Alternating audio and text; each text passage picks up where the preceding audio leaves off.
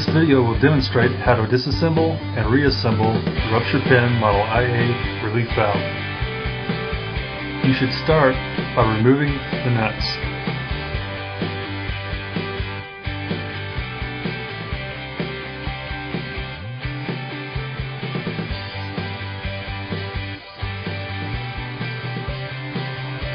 The pressure gauge you see attached to the valve is there for testing.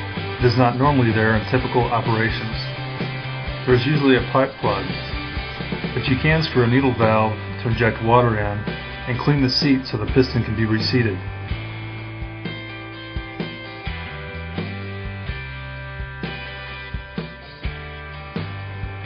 You don't want to unscrew these because it could alter the alignment to the piston stem. This will also give you something to hold on to as you disassemble the valve.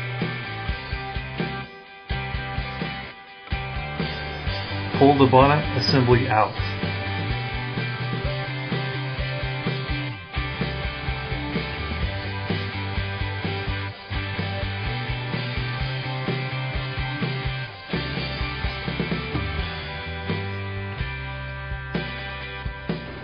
We'd like to show you where the seals are. And We'll move this down here where you can see it. You have a seal right down here, and you have a seal in here. You have a seal on this stem and a seal inside here. You need to pull the piston out. The piston has two seals. There's a seal here and here. There's a backup ring and a bumper. The bumper is to cushion it when it slams up at set pressure. You take this nut out, the cap comes off, this seal comes out. Put on your seal, put the nut on after you put the cap back on. Pull this sleeve off. Unscrew these stud bolts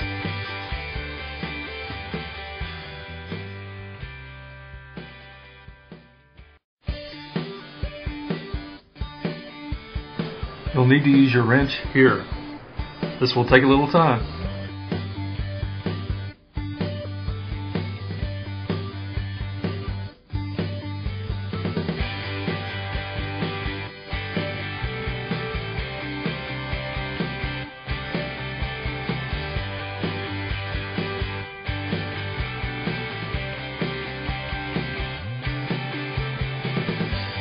You have seals here, a backup ring here, and a seal here.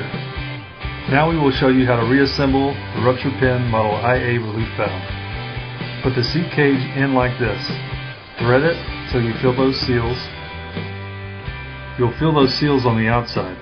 When they start to get real tight up in there, it's time to grab a wrench. Take your time as you tighten it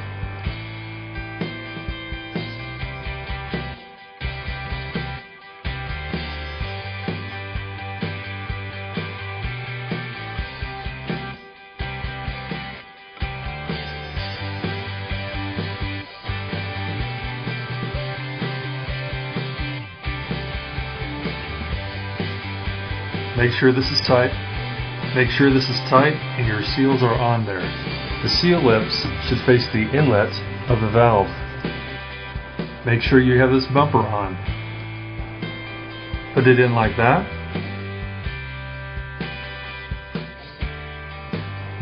Put your stud bolts on.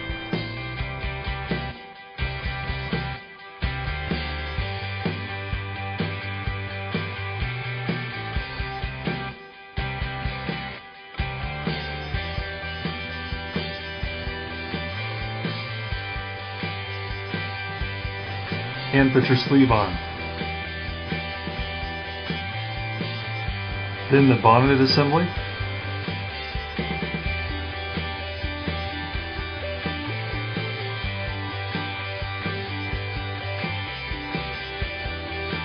Then put on the nuts and tighten them.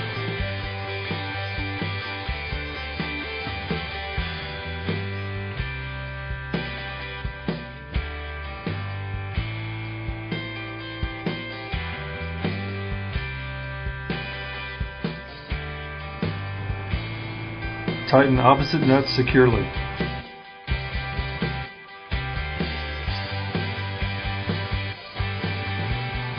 loosen the pin holding nut, install a new pin, then tighten the pin holding nut. Now the rupture pin model IA relief valve is ready for safe operation.